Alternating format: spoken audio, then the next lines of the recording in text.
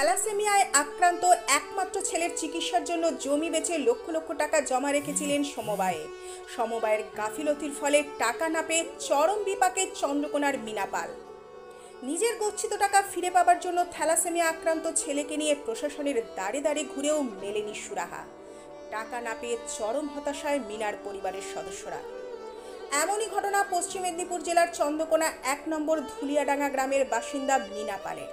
গ্রামের শ্রীনগর ঠাকুরহাটি সমবায় সমিতিতে একমাত্র ছেলে তুহিন পালের চিকিৎসার জন্য নিজেদের চাষের জমি বেচে আট লক্ষ টাকা জমা রেখেছিলেন সমবায় সমিতিতে কয়েক বছর আগে।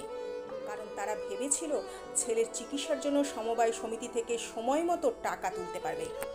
সেই মতো টাকা রাখলেও বর্তমানে সমবায় সমিতি থেকে দু বছর ধরে কোনো টাকা তুলতে না পারায় থ্যালাসেমিয়া আক্রান্ত ছেলের চিকিৎসা করাতে হিমশিম খাচ্ছে পরিবারের সদস্যরা।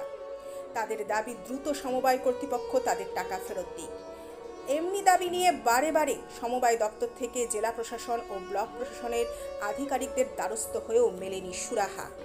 কিন্তু কেন এই সমস্যা? জানা যায় কয়েক বছর আগে সমবায় সমিতির তৎকালীন বোর্ড মেম্বাররা সমবায় দপ্তরের টাকা ঋণ দিয়েছিল বেশ কিছু ব্যবসায়ী ও কোল্ড স্টোরেজের মালিকদের, প্রায় কয়েক কোটি টাকা। সেই কয়েক কোটি টাকা কোটিপতি ব্যবসায়ী ও কোটিপতি ব্যক্তিরা সমবায় সমিতিতে পরিশোধ না করার জন্য সমবায় সমিতি লাটে ওঠার উপক্রম। আর এর ফলেই মীনা দেবীর মতো একাধিক মানুষ পড়েছেন সমস্যায়, তাদের গচ্ছিত টাকা না পেয়ে। এই নিয়ে বেশ কয়েকবার সমবায় সমিতি ঘেরাও করে বিক্ষোভ দেখায় প্রতারিত গ্রাহকরা। রাজ্য ক্ষমতায় যেই শাসক দল থাকে, তারাই পরিচালনা করে এই সমবায়গুলি। যদিও এ বিষয়ে ব্লক সমবায় কৃষি আধিকারিক অর্পিতা চক্রবর্তী বলেন, জেলা শাসক থেকে শুরু করে সকলকে বিষয়টি জানানো হয়েছে। আমরা দেখছি দ্রুত টাকা কীভাবে ফেরত দেওয়া যায়, তার ব্যবস্থা করা হবে। যদিও শাসক দলের নেতাদের মদতেই এই দুর্নীতি বলে দাবি বিজেপির। ব্যুরো রিপোর্ট, আমি মৌমিতা দাস, স্থানীয় সংবাদ, ঘাটাল।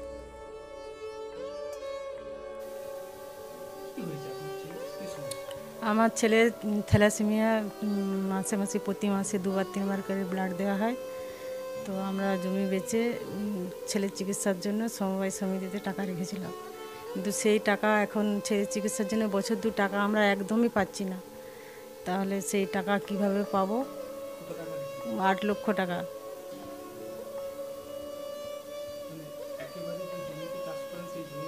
সেই জমি বিক্রি করেই টাকাটা রেখেছি। কিন্তু যদি প্রয়োজন পড়ে ছেলের চিকিৎসার জন্য সেই জন্য রেখেছিলাম। কিন্তু আমরা এখন চিকিৎসার জন্য মানে টাকা তুলতে গেলেই বলে টাকা নেই, এখন দেয়া যাবে না। এটা দু বছর হচ্ছে, টাকা একদমই পাচ্ছি না। মানে আমরা ছেলের চিকিৎসা করাবো কীভাবে? সেই জন্য আমরা সমি এআরসিএসকে জানিয়েছি বিডিওকে জানিয়েছি সমবায় বলছে বাজে অবস্থা টাকা এখন তো কোনো মতেই দেওয়া যাবে না। সেটা ভাবছি আমরা আমরা মাননীয় দিদি মুখ্যমন্ত্রী দিদির কাছে জানাব। তা ওনার উপর আমাদের আশা আস্থা আছে যে উনি আমাদের দেখবেন। মানে না? আমাদের নিজের টাকা অথচ টাকা পাচ্ছি না আমরা। হ্যাঁ করতে হচ্ছে আমাদেরকে?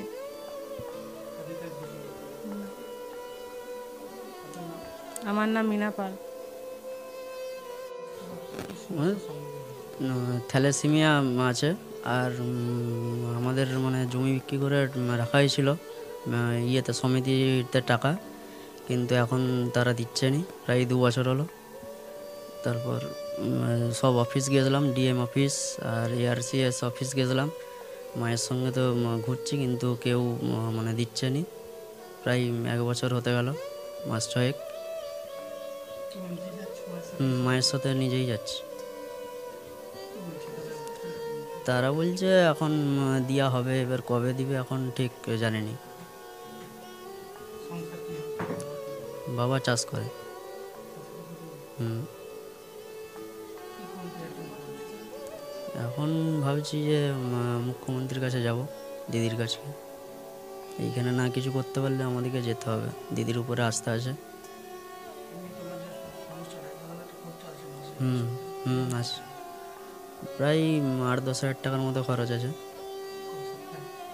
ওই মাসে মাসে আর কি।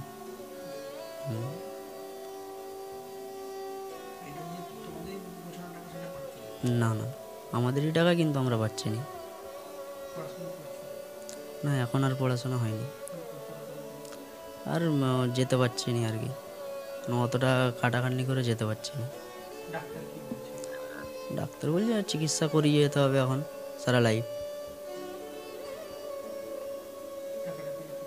সুবিধা হয় আর কি। নাম তুহিন পাল। আচ্ছা আমরা ওটা আমরা জেনেছি। আমরা কিছুদিন ওনারা আমাদের কাছেও অ্যাপ্লিকেশন করেছেন বা পেপা- পেপারেও দেখলাম ব্যাপারটা। এটা নিয়ে আমরা জেলা প্রশাসনকেও জানিয়েছি। তো আমরা দ্রুত বিষয়টি যাতে শুধু উনি কেন, প্রত্যেকেই যারা টাকা রেখেছেন এবং এমার্জেন্সি দরকার, যাতে অন্তত আমরা তাদেরকে, তাদের জমানো টাকা ফেরত দিতে পারি, সেটা নিয়ে আমরা একটা আলোচনায় বসেছি এবং কীভাবে এর ওয়ে আউট বার করা যায়, সেটা নিয়ে আলোচনা চলছে। এতটুকু আশ্বস্ত করতে পারি অতি শীঘ্রই আমরা কিছুটা হলেও টাকা আমরা ফেরত দিতে পারব। সমস্যাটা কিছু টাকা ব্যাড ইনভেস্ট হয়ে গেছে। বিগত দু হাজার ষোলো সাল থেকেই সমিতিতে যেখানে যেখানে টাকাগুলো ইনভেস্ট করেছিল বিশেষ করে তিনটে স্টোরে অনেক পরিমাণ টাকা সেই টাকাগুলো আর ফেরত আসছে না। ফেরত না আসার জন্য আমরা মানুষকে মানে পাবলিককে তার টাকা ফেরত দিতে পারছি না। তবে আমাদের বিষয়টি ডিস্ট্রিক্ট ম্যাজিস্ট্রেট মাননীয় ডিস্ট্রিক্ট ম্যাজিস্ট্রেটের নজরে আনা হয়েছে। উনি ব্যাপারটা নিয়ে বসেও ছিলেন। উনি স্টোরগুলোর সাথে কথা বলেছেন। আশা করছি অতি শীঘ্রই আমরা সমস্যার সমাধান করতে পারব। মণ্ডলের শ্রীনগর সমবায়ে, শ্রীনগর ঠাকুরহাটি সমবায় সমিতি। সেখানে একজন মহিলা আট লক্ষ টাকা রেখেছিল, মিনা পাল নামে একজন মহিলা, তার ছেলে থ্যালাসেমিয়া পেশেন্ট। যেই থ্যালাসেমিয়া পেশেন্টের চিকিৎসার জন্য সে আট লক্ষ টাকা নিজের জমি বিক্রি করে রেখেছিল। কিন্তু সমবায় সমিতি টাকা দিতে পারছে না। যেটা জানা যাচ্ছে যে, সমবায় সমিতি এত বড় বড় কোটিপতি মানুষদিকে ঋণ দিয়েছে, কোল্ড স্টোরেজ মালিক শুরু, বড় বড় ব্যবসায়ী, তারা লোন পরিশোধ না করার জন্য কিন্তু সাধারণ মানুষরা আজকেই সমস্যায় পড়েছে। তারা তাদের গচ্ছিত টাকা পাচ্ছে না। কি বলবেন দাদা এই বিষয়ে? দেখুন, শ্রীনগর সমবায় সমিতি ঠাকুরাটি যে সমবায় সমিতি, পশ্চিমবাংলার বুকে এরকম সমবায় সমিতি বহু আছে, কিন্তু সমবায় সমিতি দুর্নীতি ভর্তি কারণ ওই শ্রীনগর সমবায় সমিতি নিয়ে আমরা বহুবার আন্দোলন করেছি, বহুবার বিডিওর কাছে গেছি যাতে মানুষ টাকা পায়, তার জন্য সিডিপিওকে বলেছে প্রত্যেককেই বলেছিলাম। কিন্তু দুর্ভাগ্যের বিষয়, তৃণমূল পরিচালিত ওই পৌর সভাগুলো আমাদের ওই সমিতিগুলো হওয়ার জন্য না, দুর্নীতির আখের হয়ে গেছে। এদেরকে বলে কিছু লাভ নেই, কারণ এরা কোনো কাজ করে না, শুধু মানুষের টাকা নেওয়ার জন্য তৈরি থাকে। দেখুন, সমবায় সমিতির উপর মানুষ ভরসা করে, বহু মানুষ ব্যাংকে না যেয়ে সমবায় সমিতি টাকা রাখে। আমরা চাই ওই দুস্থ মানুষের পাশে দাঁড়াতে। যাতে সরকারের কাছে আহ্বা- আহ্বান করব এবং সবার কাছে আহ্বান করব যাতে টাকাটা পাই। ওই মহিলা যেটা বলছে সে একবারে দুই বৎসর ধরে তার ওই আট লক্ষ টাকার জন্য ঘুরছে তার থ্যালাসিমিয়া পেশেন্ট ছেলেকেও পর্যন্ত নিয়ে যাচ্ছে। কিন্তু প্রত্যেকেই আশ্বাস দিচ্ছে কিন্তু এখন হয়নি। প্রশাসনের এই যে গাফিলতি এই বিষয়ে কিছু বলবেন এটা প্রশাসনের পুরোটাই গাফিল দিয়েছে কারণ যখন লোন দিয়েছিল কোনো কোল্ড স্টোরেজ বা যাকে লোন দিই আমার সমবায় সমিতি করছিল টাকা থেকে লোন দেবো কারণ সমবায় তার নিয়ম হচ্ছে সমবায় যে আইন আছে যে আইনে আছে। সমবায় তার নিজস্ব টাকা থেকে বা ওন ফান্ডে কিন্তু কারও টাকা ভেঙে লোন দিতে পারে না। এখানে পুরোটাই অরাজকতা। ওখানে যারা ছিল তৎকালীন সময়ে, যারা বোর্ড চালিয়ে, তারা দেখবেন তাদের দেখুন তাদের সম্পত্তি কী ছিল আর সমবায় সমিতি জানার পর সমবায় সমিতি জানার পর তাদের সম্পত্তি কী হয়েছে। অর্থাৎ টাকাগুলো কোথায় গেছে আমার মানুষ বুঝতে পারছে। এর আগেও একটা আন্দোলন হয়েছিল শ্রীনগর সমবায় সমিতিতে, কিন্তু মানুষ সুরাহা পাচ্ছে না। দাদা এই কোটি কোটি টাকার দুর্নীতি সামনে পঞ্চায়েত নির্বাচনে কি আপনারা এটা ইস্যু করে রাখবেন? হ্যাঁ অবশ্যই আমরা এটা ইস্যু করব কারণ গরিব মানুষের পাশে থাকব। আমাদেরকে তখন বলেছিল আমরা সহযোগিতা করার জন্য এগিয়ে গিয়েছিলাম কিন্তু আমাদেরকে বিজেপি করার অপরাধে আমাদের ওখানে সুশীলদা হৃদয়দা এদেরকে কিন্তু সরিয়ে দিতে বাধ্য করেছিল ওখানকার। আমরা চেষ্টা করি যাতে টাকাটা আদায় হয় যাতে মানুষ অন্তত টাকাটা পায়। এ ওরা যখন চলছে এর দিনের পর দিন আরও বাড়বে মানুষ এর দেখতে পাবে মানুষ লক্ষ্মীর ভাণ্ডারে ভুলে গেছে কিন্তু এই যে কত যে দুর্নীতি আছে আস্তে আস্তে মানুষ জানতে পারবে। যে সমবায় সমিতিটার কথা বলছেন সেই সমবায় সমিতির ঋণ আদায় নিয়ে যে সমস্যা, এটা আমাদের কাছে খবর আছে, আমরা জানি। একটা ঘটনা ঘটেছে।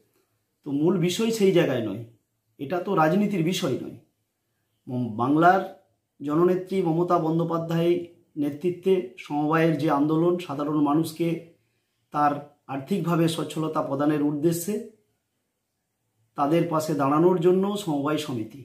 তো সমবায় সমিতি গঠন হয়েছে সাধারণ মানুষকে তার ঋণ দেবে, এটা সিস্টেম। তো ঋণ যারা গ্রহণ করেছে বেশ কিছু স্টোর মালিক ঋণ এখান থেকে পেয়েছে।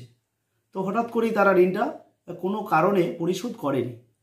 আমাদের কাছে বিষয়টি আসার পর আমরা বসেছি বারবার, বোঝানোর চেষ্টা করছি যে আপনারা ঋণটা পরিশোধ করুন, প্রয়োজন হলে আবার ঋণ নেন। যার ফলে কিছু সাধারণ মানুষ হয়তো তাদের সাধারণ যে পরিষেবা, ব্যাংকের যে পরিষেবা, সেই পরিষেবা থেকে বঞ্চিত হয়েছে। যেহেতু সমস্যাটা ঘটেছে, আমরা আমাদের সমবায় ব্যাংকের যারা দায়িত্বে রয়েছেন, তাদেরকে জানিয়েছি। অপরদিকে আমরা এখানেও বোঝানোর চেষ্টা করছি। আর যেটা বিরোধীরা প্রচার করছে, কুৎসাই বলব, অপপ্রচার বলব, যে ওনারা তো সব কিছুতেই রাজনীতি দেখেন, কারণ সমবায় ব্যাংকের নিয়ম অনুযায়ী নির্বাচন কমিশনারের বিধি, নিয়ম মেনেই ওখানে নির্বাচিত হয়ে যে সমস্ত প্রতিনিধি নির্বাচিত হয়েছে তারা বোর্ড পরিচালনা করেন। সেই বোর্ডের দায়িত্ব ঋণ, একদিকে যেমন ঋণ দেওয়া, অপরদিকে ঋণটা যাতে পরিশোধ হয়, তার ব্যবস্থা করা। তো কোনো কারণে ব্যাংক সেই স্টোর মালিকরা ঋণ গ্রহণ করেছিল, ঋণটা পরিশোধ করেনি। এতে মানে আমাদের শাসক দলের কি অন্যায় দেখছে, ওনারাই বলতে পারবেন। তবে আমি মনে করি এখানে আমাদের তৃণমূল কংগ্রেসের কোনো কর্মী, কোনো রাজনৈতিক নেতা বা জননেতা ওখানে ওই ব্যাংকের সাথে, ওই দুর্নীতির সাথে যুক্ত নয়। যা রয়েছে, ঋণ অনাদায়ী রয়েছে।